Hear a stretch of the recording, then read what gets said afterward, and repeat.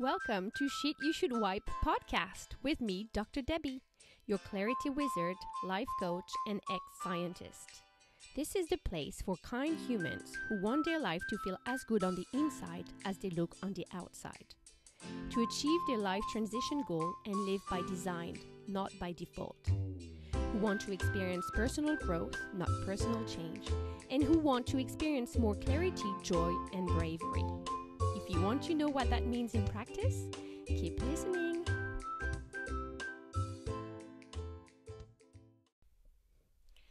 Hello, friends, and welcome back in my podcast bubble. I was actually going to open my bubble today and work with the door and windows open because it's really nice outside. And then someone outside decided to use a chainsaw. So hopefully you won't be able to hear it too much. Remember how last week we talked about uh, what shame is and how to unshame? If not, go back one episode. It's called What's Wrong with Me. Well, today I want to shift gears and become more proactive with, with shame. So we don't wait to have shame to unshame, but rather we build shame immunity. The same way you build your system immunity by exposing yourself or uh, getting a vaccine. So, as per last week, some of the things I talked about, to, I will talk about today, I learned as part of my continuing education, more particularly from the Shame Clinic by David Bedrick and Simone Seol, and also from, uh, well, actually, next week I'll talk about some concepts I, t- I learned in Joyful Marketing by Simone Seol. And although it wasn't exactly presented the way I'm going to talk about it in the clinic, I want to share with you what I've learned, or rather, what I've understood. Um, and you know, I like clarity and I like making categories. So I understood that, that there are mainly two ways to build shame immunity. The first one is to have boundaries, and the second one is to practice clean pain, which is the topic of the next episode. So today I want to focus on boundaries.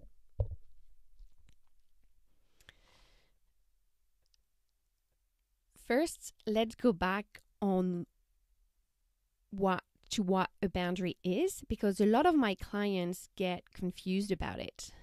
Um, they often think that a boundary is a wall you put up or that it is making demands like don't do that or get out of the room or don't speak to me this way. But my definition of a boundary is something that you do in response to someone's action or behavior. It is something that you do, not something that is dependent on someone else. It's something that is in your control. So, how? um, first, you set the boundary. That means you tell the other person what you're going to do in response to a certain situation. So, a certain action, a certain behavior. That's setting a boundary. And the second step is to enforce or hold the boundary. And this is where a lot of people struggle because they're afraid of the consequence of holding the boundary, or often because the thing they said they would do doesn't feel good. So make sure that the thing you say you're going to do uh, is something you're okay with. So let's take an example. If someone screams at you, your boundary is one, telling that person you will be walking away when screamed at, and that you'll come back when you can have a conversation. That is the way, that is setting the boundary. But ideally, you would do that in advance of being screamed at, but you could also do it on the moment if you haven't had the foresight to do it before. And second step is you actually walk away. So you're enforcing or holding the boundary. So it's fairly simple. Person X screams, I leave. person X stops screaming and I'm available for discussion, then I come back. This is how I usually explain, you know, boundary 101 to my clients. Um, and it helps with building your shame immunity because to hold your boundary, you need to first notice that the boundary has been crossed. So, this is the equivalent of witnessing the hurt that we talked about in the previous episode. And second, you need to react to the hurt. You're standing up for yourself and telling yourself that it is not okay to be hurt.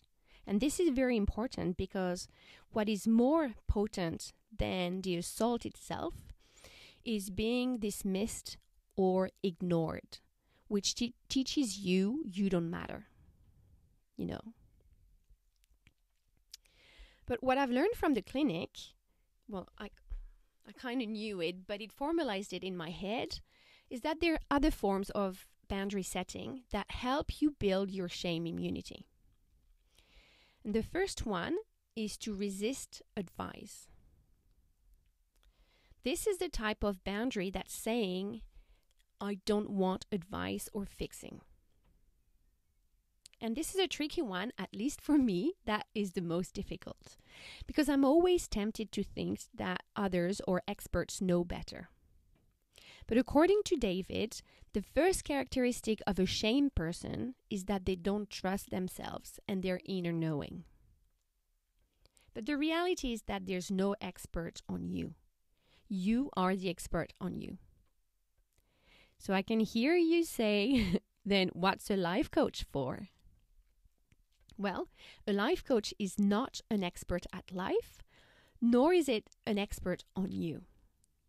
It is an expert at trusting you, holding the space, and providing the tools for you to recreate that relationship to you and your authority.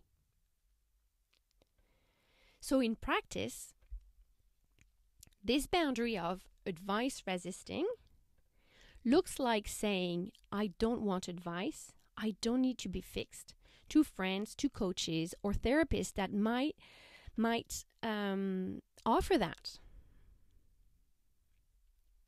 Okay, so that was your second time uh, type of boundary.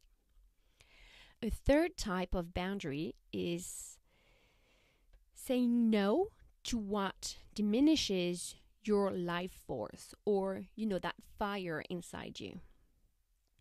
I like the idea or the image I hold in my head that we all have a little fire inside, and that everything that we do in life or choose in life either fuels that fire or extinguishes that fire.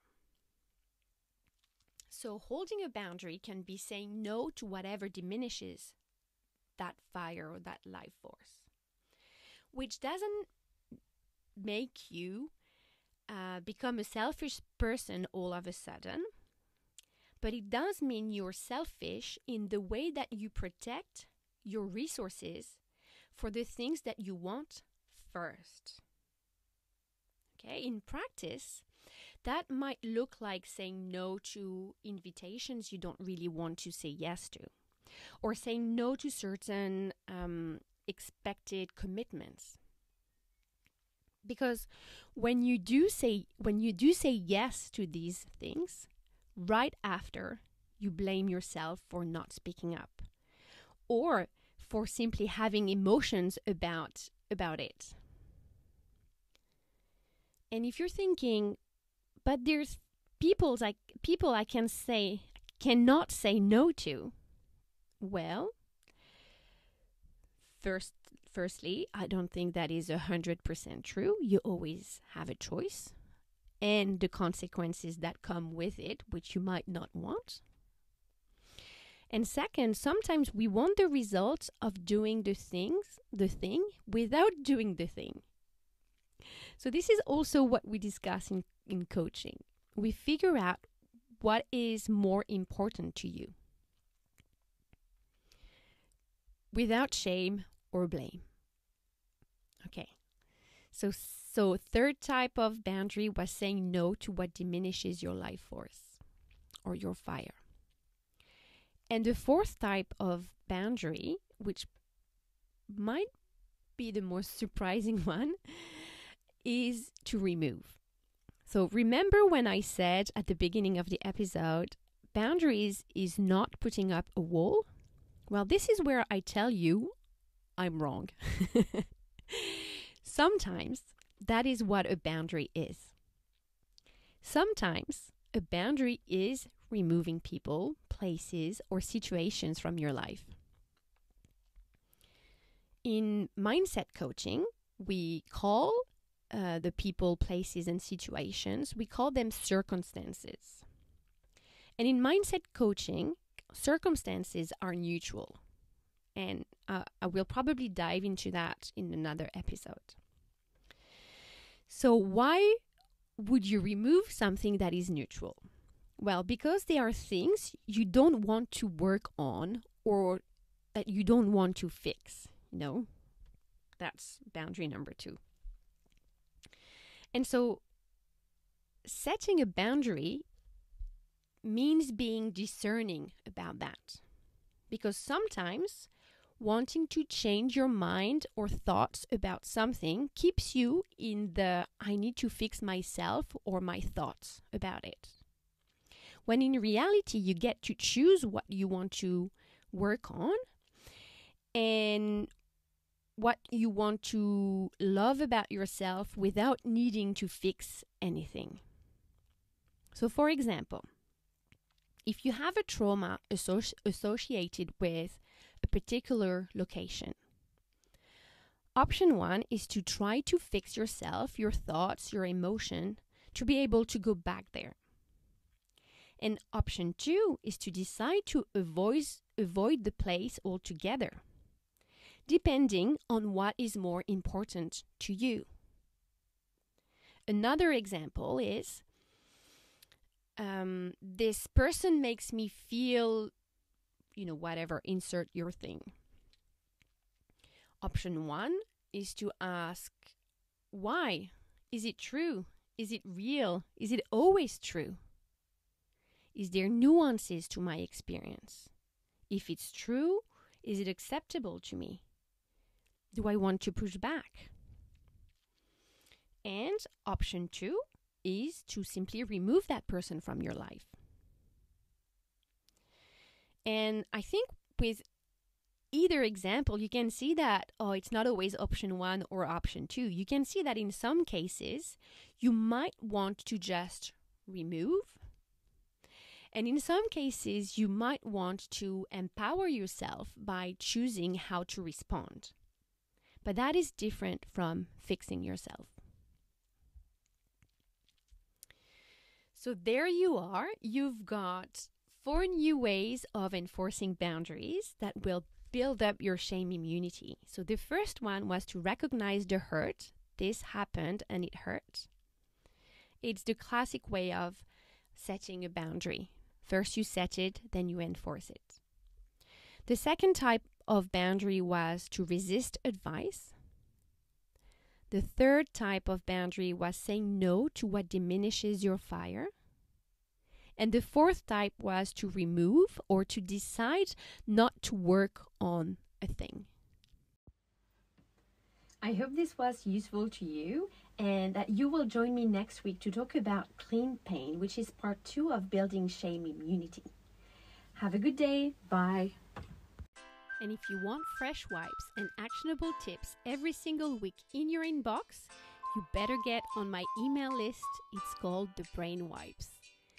Also, make sure to download the Mental Offload. It's my free ebook to learn how to start wiping things off your to do list.